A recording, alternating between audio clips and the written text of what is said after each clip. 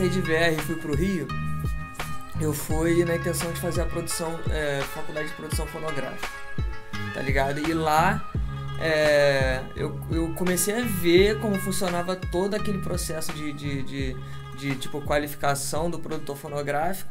É, e, e vi que era um processo meio moroso, assim, que eu tava gastando muita grana, sabe? Eu tava me vendo em, é, botando grana numa parada que, na verdade, tava me distanciando do que eu queria, assim, na verdade. Tinha um conhecimento técnico, tava aprendendo coisas interessantes, mas ao mesmo tempo eu tava super valorizando uma parada que, tipo, ia só me trazer um currículo, tipo, sei lá, um, um, um diploma, uma parada relacionada ao, ao que eu tava buscando foi quando eu conheci o, o, o Ike, na verdade eu já conhecia o Ike há muito tempo, e, e ele, come, e ele me, me chamou para acompanhar ele em alguns trabalhos, assim. Então é. Eu conheci. É, foi, foi meio que mudando a minha mente, assim, tipo, desde quando eu comecei a faculdade.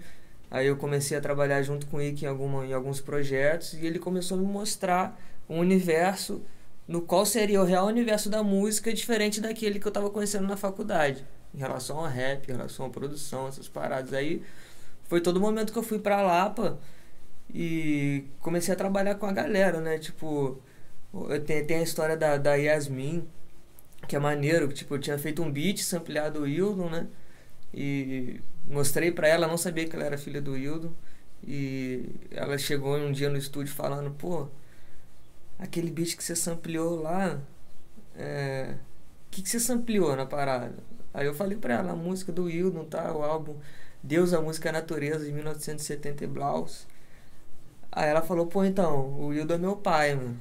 Né? Aí eu, que isso, mano? Você tá zoando. Eu sabia que tinha uma mina do rap, que era filha do Wildo, que alguém falou assim em algum momento. Eu não sabia que era Yasmin, que eu tava trampando com ela. Aí é maneiro que hoje a gente tá, tipo, terminando o disco da Yasmin. E praticamente todas as músicas o Wildon, a mãe dela, cantam nos refrões durante as músicas. O Wildon gravou guitarra em praticamente todas as músicas, gravou sintetizador, gravou várias paradas e vai, eu vou assinar a produção do disco junto com ele, sabe? É uma parada que aconteceu assim de de imediato assim quando eu fui comecei a buscar as paradas e querer trampar com produção e investir uma galera, conhecer esse universo, né? Uhum. É uma história maneira de de como também, né, a gente voltou, né, com o lance do café crime, né, que tava parado.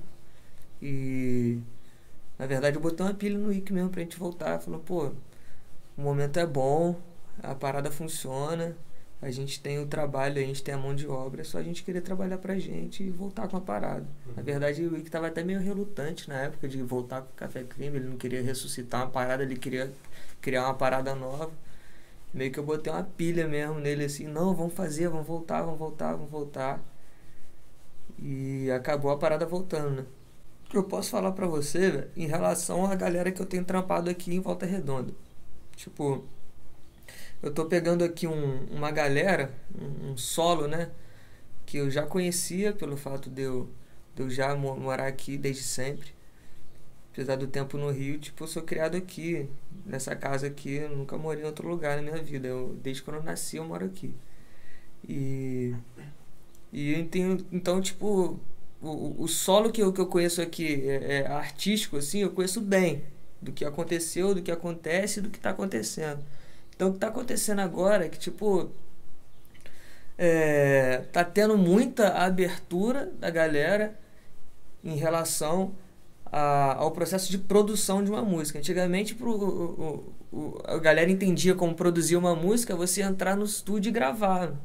Né? Você entrava no, pô, Ramiro fez lá a produção da minha música, mas o que, que ele fez? Não, pô, ele gravou a parada, pô, terminou a parada. Pô, não, mas. Até, até a galera, quando vem com beat aberto, eu falei, galera, eu falo assim com a galera: é o seguinte, pô, é, é, vai querer que a gente caia dentro da produção dessa música? Não, mas o beat já tá aí. Não, o beat tá aqui, mas a produção é outra parada. É você é, é direcionar o, o, o, esse beat para algum foco no qual você queira passar, né? De repente o beat foi feito para ser um beat e, e, você fez uma letra, né? Às vezes o beat não tem nada a ver com a letra, ou às vezes a letra precisa se adequar ao beat. Então isso é, é, é algo que a galera do rap tá começando a enxergar, coisa que são pensamentos do músico, né? Antigamente isso era, era visto. Eu lembro que a galera falava, ah, pô, violão no rap, que isso, violão no rap. Pô, vai botar um violão no rap? Pô, hoje em dia, cara, nego tipo paga maluco para gravar um violão na sua música, né? É uma, é, um, é uma parada que a produção hoje, ela tá tendo um espaço no qual é, ela, ela já respeita o rap como música. Né? O próprio Wildon mesmo gravar um sintetizador num beat é uma parada que é, é o cara a escola do cara é o soul né? Tipo é, é o funk né? É, é, é outra parada né? então tipo é, é, é, um, é, um, é um espaço assim que, que a gente está tendo de até mesmo para aprender e trazer para esse universo uma qualidade musical né? Tipo você é certo que a gente precisa ser autêntico e fazer as coisas como a gente quer, mas a gente sabe que se a gente tiver algumas armas ali junto com a gente que podem facilitar a nossa entrada em outros lugares e sem tirar a característica inicial e principal da, da, da música, do foco, de fazer a parada com qualidade, é, é, um, é um leque que se abre, né? E você consegue trabalhar com o gênero rap, só que fazendo música, né? Roda de rima primeira roda de rima que eu fui foi uma roda de rima na Lapa. A roda que acontecia ali atrás do Circo Voador. Quem, quem organizava era o Dropê, o, o Ramp, o Lepô colava direto também. E, pô, a galera, a galera colava ali. E eu nunca sabia o que era essa parada. A galera sempre falava, não, tá rolando circuito carioca, circuito carioca de ritmo, poesia, vários lugares rolando rima, vários. Cada dia era num lugar, né? E, pô, galera se engajando para fazer a parada. E nessa época eu ainda não morava no Rio, quando começou nessa parada. E eu, e eu tava fazendo um curso no Rio de, de home studio na época. Eu tava ficando no, em Copacabana, onde minha tia tava morando. E um dia dessa. Um, um dia. Não, minto, tava fazendo um curso no, no IATEC. Isso mesmo. Eu volt, tava voltando da barra, fui no centro e passei na roda. Aí, pô, vi a roda, pô, achei maneiro pra caramba, assim, a galera trouxe ali um, um, um uma. trouxe uma parada, um, sentimento das paradas que quando eu comecei a fazer o rap, assim, a internet ainda era um pouco mais mais, mais, mais limitada, né? A gente, as batalhas, as, as paradas, muitas das vezes eram divulgadas só o áudio, né? não tinha um vídeo. A galera meio que levava gravadorzinho, né? Ou gravava, em, em, ou pegava, ou filmava e só explanava o áudio, porque também era, era um arquivo pesado de subir, né? Numa conexão de escada. Então a gente ficava ouvindo aqueles áudios lá, né? E, e, e, trazia toda uma, uma coisa na nossa mente, assim, que a gente não estava no Rio, não estava nos outros lugares, mas criava uma, um, um ambiente do que seria aquela parada. E quando eu fui na, nessa, nessa roda da Lapa, eu vi, mano, tipo, era uma parada, pô, é o cenário que eu imaginava do que rolaria, de uma galera fazendo um freestyle na rua, da, da parada acontecendo. Achei muito louco. E acompanhei um pouco desse processo da, da, da, das rodas no Rio. É, quando começou na Farane também, Botafogo, fui, fui algumas vezes na Farane depois que ela foi pra praia. E, e, e, é, e é, interessante de ver que cada lugar, né, as rodas comunicam com a galera de uma forma. Tipo, se você vai na roda do Meia, é, a galera, a mentalidade da galera do que é roda é uma parada muito específica da mentalidade da galera do que é o Meia, do que é a galera ali da Zona Norte, do que é como a galera pensa ali, consequentemente a roda vai ser um produto local ali da parada. O Rio já, né, ele já é muito assim, tipo, os bairros falam muito por si, assim, pô, o maluco do Meia, né, a galera fala do Tijucano, né, o nego fala da galera, pô, da Zona Sul, pá. Então, é, é muito diferente. Quando você vê uma parada dessa acontecendo numa cidade fora dessa parada, ainda é mais diferente ainda, porque aqui a galera pega um pouco as coisas ainda de, de tabela, né? Tipo, um organizador da roda aqui não vai lá na roda do Meia olhar como funciona para fazer. Não, ele vai né, vendo o que a internet mostra, vendo o que um comenta, o que um escreve numa letra, o que ele vai criando um conceito do que é uma roda e acaba acontecendo. Uma manifestação ali, cultural meio que espontânea, mas com um, um, uma influência da, da, das informações que acontecem. E o que eu via aqui em VR era o que eu via na roda lá da Lapa, tá ligado? Tipo, eu cheguei aqui, eu fui ver num, num final de semana de, de, de, que eu vim pra VR e sabia que já tava acontecendo roda, eu fui lá, mano, pô, debaixo da biblioteca municipal ali na, na vila, vários malucos rimando, tipo, várias rodinhas de galera rimando, os caras rimando bem mal, assim, outras galera uns mais ou menos, uns rimando bem, sabe? Mas, tipo, geral botando a cara, menina, via várias meninas rimando, eu falei, que isso? várias meninas rimando, né? Tipo, no Rio você via uma ou outra fazendo freestyle, né? É, aqui, pô, eu vi, sei lá, rodinha de menina rimando. Aí eu, pô, eu vi uma parada acontecendo. Só que, né, tipo, quando você trabalha, né, com, com, com coletivo, né? E, e, ali você precisa exercer uma liderança, até aquela parada que a gente estava trocando ideia, né? Em relação à liderança, é, é difícil você é, é, é, é manter é, as pessoas olhando para onde você quer, né? Então, tipo, precisa haver a liberdade, né? Afinal, é um movimento é, livre, é o rap, na verdade, tipo, se você, se, o rap, a, a manifestação dele é, na mensagem, né? Que eu acho é o seguinte, o cara não precisa te falar como você deve ser Acho que ele deve mostrar para você como ele é. Sabe? Se essa parada vai te influenciar de alguma forma ou não, é o peso da minha mensagem. Agora, eu ficar falando para você como você deve ser, é uma parada meio chata, pô. Eu tô ouvindo isso do meu pai minha vida inteira, né? Tipo, como você deve fazer, como você deve. Você tem que ser isso, você tem que ser aquilo, você tem que andar por aqui, você tem Não, tipo assim, eu ando por aqui, eu faço isso, isso, isso, isso acontece comigo. Ah, maneiro, então eu quero isso pra mim né? Já é outra parada, é a influência do que a mensagem está passando.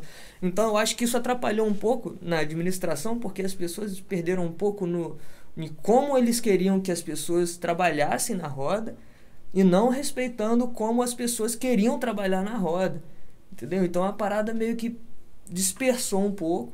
A roda não acabou, continuou, mas é hoje ela está começando a virar um, um, um, uma outra uma outra energia, assim, de uma outra movimentação de energia. Assim, as pessoas é, vão mais para se confraternizar e se encontrar e conversar sobre trabalho também, sobre rima, sobre rap, sobre tudo. Só que você já não vê tantas rimas, tanto aquela, aquele boom, né? De, de... Eu acho que isso está acontecendo em todas as rodas também. Tipo, as, a galera tá começando a estruturar e botar som e rolar show, né? Que antes era só, né?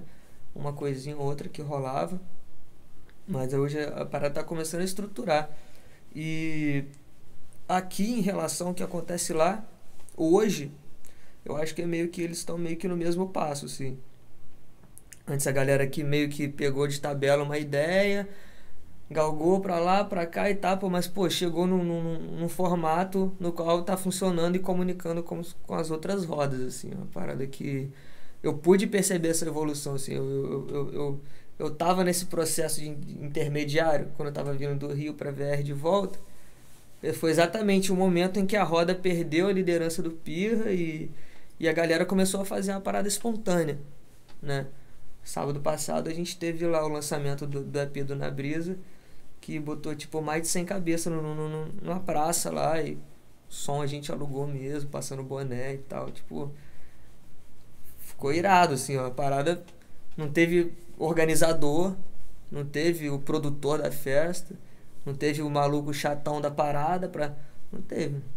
A parada foi, né, tipo, fluiu, cada um que foi na sua particularidade curtiu da sua forma, todo mundo pôde expressar a sua ideia, o seu discurso durante seu show, durante sua apresentação, e foi uma parada livre. Então eu, eu acho que, tipo, não sei nem se tá dentro do que vocês queriam saber, mas, tipo, eu acho que um, qualquer manifestação chamada de roda de rima tem que ser assim, tipo, livre. Não, não existe quem vá guiar, assim. É, tem outras coisas que precisam disso, mas isso eu acho que não. Eu penso muito sobre esse assunto também, mano, porque é, é uma parada que mudou pra caramba, né? Você vê assim, é, você se, se transporta lá pra 2004, 2005. Eu minha primeira batalha no Rio foi em 2005, 2004, no Rutuzo. É, e eu via uma galera, tipo, que eu achava que ia explodir, mano. Sabe? Rimando, assim. Tipo, essa galera daqui a 3, 4 anos aí tá ganhando Brasil, né? E eu vi uma galera que, tipo assim, ah, qual é? Esses malucos estão falando merda. E só que é muito louco, mano, que muita das galera que eu achei que não ia estourar, estourou, né? E muita da galera que eu achei que ia ser a parada, tipo, não, não aconteceu, velho. Mas é. Mas o que, aconteceu na verdade? Foram refém de, de, de, um, de uma. De um. De um. De um mercado cruel, ou, ou foram refém de, de uma falta de investimento, ou foram refém do, de, de si próprio. Não sei, mano. Mas é. Ninguém imaginaria que, tipo. Uma molecada que batalhava, pô, ganhava, sei lá, 50 reais aí pra, pra, pra, pra, fazer, pra batalhar no evento. É, hoje tá, tipo, ganhando cachês altíssimos, assim. Pelo mérito do trabalho também. Mas é, eram coisas que antigamente não eram tão. É, é, não, não tinham tão valor mercadológico na época, mas que hoje já, já tem o seu espaço no, no mercado, né? Quando você, quando você é, é, fala de música música explícita, né? A gente vê no, no, disco gringo, né? Tipo, muitas essas paradas, né? Conteúdo explícito, pá, essa parada. Tipo, o cara, pô, fala merda, fala palavrão e xinga, né? E, e fala é, pensamentos subversivos e tal. Tipo, essa parada antes não era muito bem vista no Brasil, né? Então, mas, mas hoje é, é meio que a galera tá, tá, tá indo para um, pra um nível em que o, o protesto ele tá inserido em todas as coisas hoje, né? Tipo, na forma que você se veste, como você se posiciona sexualmente, já é uma forma política, como você se, é, é se posiciona é, é, religiosamente, já, já é uma forma política também de você ser, de como você se veste, de, sabe? De, de, tudo hoje é uma afronta. E, e, isso é totalmente comercial, tá ligado? Né? Porque hoje você. Se as pessoas estão consumindo isso, as pessoas compram isso. Então, se as pessoas compram isso, as pessoas fazem cada dia mais isso, né? Então, é, o que eu, o, o que eu vejo da diferença da cena é o seguinte, pô, o rap ele tá muito maior em quantidade de massa, né? Mas é quantos quantos chegaram a um, a um aonde muitos queriam chegar e estão hoje fazendo coisas que faziam antes e não eram é, é, rentáveis, né? E quantos estão fazendo hoje para fazer, é, é, quantos estão adquirindo né, essa, essa personalidade para poder ter parte nessa, nesse mercado. Então é, hoje eu vejo que naquela época quem se inseria na cena era quem realmente queria fazer o rap. Quem realmente gostava da parada, né? Tipo, mano, era fogo. Tipo, já fui batalhar no Rio só com a passagem de ida e perdi. Sabe? Tipo, eu tive que arrumar dinheiro emprestado para voltar. E rap na época, você, pô, eu, eu, eu falava que cantava rap, era tipo. Né, tá, mas é isso, você trabalha com o quê? Não, eu faço rap, pá. Quero trabalhar gravando a galera, mas, pô, você não quer nenhum trampo, não, de carteira assinada, né? Tipo, não, eu quero fazer minha parada. E hoje não. Hoje, tipo assim, se o cara ele faz um. Ele quer fazer rap, não, pô, vou ganhar grana fazendo rap. Então, pô, já sabe que roupa ele tem que comprar, né? Já sabe com que galera que ele tem que fechar, já sabe que música ele tem que ouvir. E. E tá tudo aí. Com dinheiro você, você adquire isso tudo e vira um MC, né? E muitas das vezes ganha grana com isso, né? Fazendo isso. Coisa que antigamente não, o nego fazia ao contrário. O nego gastava grana justamente para não ser igual a gente. Né? E hoje é, você vê, tipo, filho de. É, é, é essa galera que, tipo, não curtiu o rap por, por, uma forma cultural que era passada pelas famílias. Hoje você vê essas galera de bairros mais. É, de, de, de, de uma galera que tem, tem, tem mais um, um Como é que essa parada de classe é meio escrota, né? Poder classe, aquisitivo. classe. Mas é uma galera com poder aquisitivo maior, geralmente, pô, filho de, de, de dono de comércio, de, de dono de, de empresa que trabalha em multinacional, tá essa galera, né, que a gente chama de, de playboy, né? É, mas é uma galera também que, na verdade, nasceram sem culpa de serem playboy, né? Caras são playboy, mas podem fazer o que for. Mas hoje, dentro desses lares dos playboys, eles já estão usando a cultura que eram justamente a cultura que os pais não queriam que eles fossem, né? Hoje em dia, pô, eu conheço um dono de loja de skate aqui em Volta Redonda que, que a, a- a secretária de cultura da cidade tem um filho, adolescente, e ela vai lá, tipo, comprar, gasta granas e granas comprando roupas largas e tal, e tênis, skate, long, pá. Pô, se fosse falar, pô, 10 anos atrás você queria comprar um skate, mano, seu pai achar que você tá usando droga, né, pichando, as coisas, né, o skate era, pô, sempre foi, né, skate sempre foi o, o, o esporte, o esporte não, nunca foi esporte, o skate sempre foi uma manifestação é, é, é, é, anarquista e, e política também. A, a galera que, tipo assim, era, o skate sempre foi relacionado à subversão. Né? O próprio. a- a- tipo, não existiam as pistas, né? A galera, pô, era street, era rua. E hoje em dia não, hoje é um esporte, né? Hoje em dia, tipo, Reconhecidamente. tem escolinha de skate, né? Tem, pô, várias pistas. Em Volta Redonda, cada bairro tem uma pista. É, Então, em relação ao, ao, ao, ao mercado, né? O mercado hoje, é, é, ele, eu encaro essa parada também, tipo, opinião minha também. Eu encaro é, o mercado hoje como, como tipo assim, um- uma parada bem cruel, assim, porque se você não tá dentro dos, do- dos, dos padrões ali mercadológicos, você acaba não se inserindo em muita coisa. Porém, é, quando se trata de arte, né?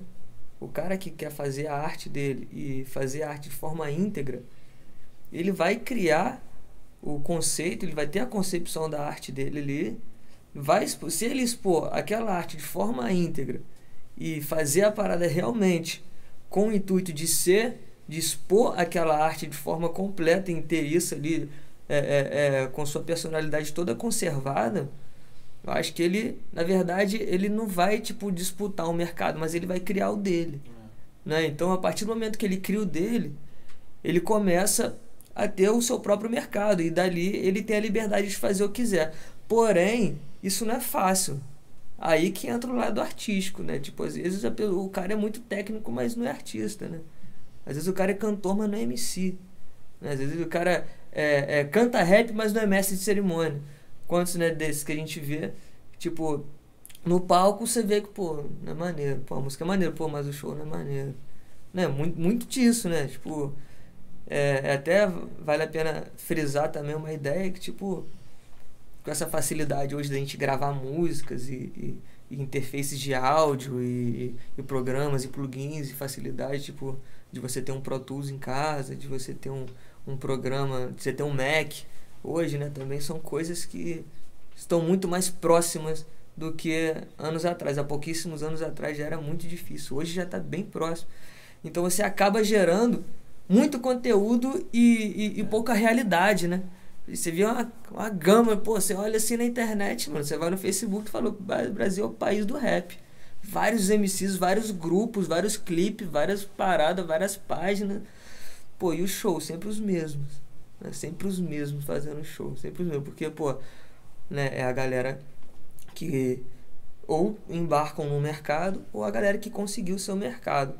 Então acho que se o cara ele é ele é, é- é- não é inserido no mercado, é, ele ele não ele não está fazendo exatamente o, o, o que ele está buscando ser ali, na verdade. Tipo, ele está tentando então se inserir, se enquadrar, né? Tá, tipo assim, ele está tentando se qualificar para entrar numa empresa, sendo que acho que ele deveria tipo investir em si para criar a própria empresa. Acho que essa parada, a questão dele não ser, é, é, não estar tá inserido assim, como o mercado também exclui determinado tipo de gente. Porque até o underground hoje, o que eu tava falando ali com, o- cara falou, pô, tentei fazer as paradas, pô, em autona mesmo, mas, pô, não dá, cara. Minha parada é underground. Eu falei, pô, cara, mas então. O underground hoje ele já tá sustentável. Se ele tá sustentável, ele já consegue fazer uma parada de qualidade. Então, tipo, o underground hoje já é uma parada de qualidade, né? Se for parar para comparar o underground de hoje e o underground lá da, da época lá do quinto andar, né? Tipo assim, são undergrounds diferentes. Né? A galera, ah, eu sou underground. Pô, quando o Dilé falava que era underground, era underground mesmo, pô. Gravar em microfone de plástico, né? O bagulho. Pai. Hoje não, hoje o underground é tipo você botar um barulhinho de vinil para parecer que tá sujo, né? Você, né, falar uma merda ou outra, né? Ou um flowzinho diferenciado, mas, pô, são outros conceitos de underground. Então é. O mercado hoje tá, tipo, tá, tá todo mundo maluco, né? O geral tá consumindo tudo, né? E se você for artista mesmo de verdade, expor sua parada íntegra, eu acho que você vai ter o teu mercado. Você não vai precisar é, ficar se inserindo ou, ou se preocupando em, em, em, no mercado não te aceitar. Pode crer. Entendeu? Qual que era a parada, Léo? Se tu acha que, voltando naquela parada do. do ah, da Playboyzada Playboy, tomando? se- Tomando de assalto. Você acha que eles, se eles estão fazendo, tomando posse da, da cultura que foi criada, tá ligado? Eles estão tipo, porra, já que eu tenho dinheiro, eu posso fazer o que eu quiser e eu tô tipo tomando essa parada pra mim, tá ligado? E é, foi o que tu falou ali, tipo, eu vi vários malucos na minha época lá em 2004 que, porra, eu achava que ia estourar. Tu- Porra, tu achava que ia estourar por quê? Porque, porra, tu curtia um rap, tá ligado? Que era feito naquela época. E tu sabe que aqueles caras faziam rap, tá ligado? Na, e É. os malucos faziam porque gostavam. E, e não Não, tinha ainda um mercado, não tinha uma parada toda. Então eles faziam pela verdade do que é a parada, assim. Tipo, é meio escroto ficar falando bagulho de verdade, né? Mano, só, só Os verdadeiros sabem de onde eu vim. Oi. Tudo? Mandei uma mensagem aí no WhatsApp, tu viu? Aí, tá maneiro? Tá Ah, rolando? pô, tá rolando. Demorou. Maneiro, troca de ideia tá boa. Mas é isso, já tá caminhando pro final também. É, e tipo, a gente cria muito essa parada do, do, do Playboy, mano. Do Playboy, na moral, não existe Playboy no Brasil, não, velho. Se for parar pra ver, o, o Playboy que tá ali, que a gente chama de Playboy, é porque a nossa realidade é tão fodida, mano, que a gente acha que o cara é Playboy. Mano. Agora, se tu vai, tipo, num país desse, tipo, Canadá, você vê o que, que é um Playboy, mano. Gastar, É. tipo assim, 3 mil euros numa noite, É. pá, né? É Dólar. Eu acho que, tipo assim, o, o, o rap, é, ele é uma, como ele é um- uma parada, tipo assim, bem recente, quem faz parte dele e se diz fazer parte ou quer fazer parte dele, é, bate de frente com uma cultura recente, né? De ver, tipo, anos 70 pra cá, assim, que, que, que, né, que começou a, a vir. Então, tipo, a gente tá aí, sei lá, 35 anos de rap. E já existiam outras manifestações culturais, musicais também, há muito mais tempo que o rap. Então é uma parada que, tipo, a gente que tá dentro dele entende que ele é realmente uma arma, eu concordo contigo. Tipo assim, só que a gente entende a parada muito mais profundamente de um cara que tá do lado de fora e vê a parada só como um ritmo, um ritmo musical, né? Tipo assim, que nem, pô, tu vai fazer é, jiu-jitsu. Pô, o maluco que tá vendo de fora, pô, o jiu-jitsu é maneiro, né? Aquela luta lá, os malucos usam um kimono, pô, fazer um Só um momento. Aí ele falou. Aí um cara olha, né? Um, um, um, um- um galera treinando jiu-jitsu, pô, aquele esporte é maneiro, né? Uma galera vai, né? Pô, só jovem, né? Pô, a galera ali, pô, os, os, os, os campeonatos enchem, né? Faz o seguinte, vou começar a vender kimono florido. Floridão, pá, rosa, vermelho. Pá. Esse é o cara que não, que, que não entende a cultura e só vê a parada como um- um, um- uma possibilidade de, de mercado, entendeu? Então, tipo, essa apropriação, cara, vai acontecer. Só que é, é todo o lance da autenticidade, mano. Quem faz parte da parada vai saber o que é autêntico e o que não é. Sabe? Tipo, quantos, pô, propaganda de, de rap que a gente vê na TV aí que, tipo assim, é piada, né? É engraçado, né? Você fala, pô, que isso, cara, fazendo jingles de rap, né? Tipo, é engraçado, velho, porque, pô, não tem autenticidade, não, não conhece a profundidade da cultura da parada, né? Então, é, essa apropriação, quando ainda mais hoje que o rap se encontra assim em um momento de ascensão e tá bem popular, né? Hoje tá muito popular, é, é rap hoje, né? Tipo, tá, tá, no, tá, na, tá na novela, né? Tá nos filmes, tá em trilha sonora de, de várias, várias paradas e, e tá em jingle e tá em tudo, tipo é, grandes artistas da música popular brasileira estão abraçando a galera do rap, né? Então, tipo, é um momento em que a gente vai ver muito essa apropriação mesmo. E quando se trata também da, da relação da, da apropriação da que a gente chama, né, de, da, da burguesia, né, do playboy, é, isso vai acontecer, cara, porque como é, é uma galera que tem o, o, o, o, acesso facilitado pela possibilidade financeira, é, você acaba conquistando coisas, pulando etapas, na qual te faria ser um cara íntegro no que você estaria fazendo. Não que quem tem grana e consegue as coisas rápido não seja íntegro. O cara pode ser muito bem sim.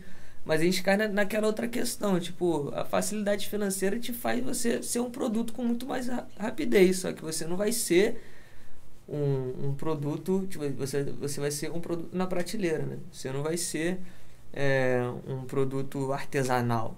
Né? Tipo assim, pô, que nem né? um trabalho artesanal, assim, não. Você vai ser um produto adquirido ali. Eu acho que o Playboy, ele não teve culpa de ter nascido Playboy. Ele, ele tem, ele teve esse esse karma, né, que ele tá tendo que carregar, né? Tipo assim, de ter uma família com grana, de ter um pai pô adinheirado, um, cara que dá mesada para ele. Mas tipo, o que vai fazer o cara ser um artista ou não é ele. Então, tipo, se ele quiser se apropriar da parada, comprar as roupas largas e falar que é MC, beleza. Hoje eu vejo vários assim. Agora, o cara ser realmente o que é, entender a cultura, eles têm também a oportunidade de conhecer essa parada, né? Tipo, a gente não pode também, né, é ficar é, segregando a nossa parada. Só que, né, pô, não vai pintar o meu kimono de florido, né? Deixa meu kimono azulzinho, branquinho, que, pô, isso daí é sagrado. Isso daí não, não se mexe. Agora, como você vai aplicar o golpe, aí vai da habilidade de cada um, né? Os mais habilidosos ganham de pão.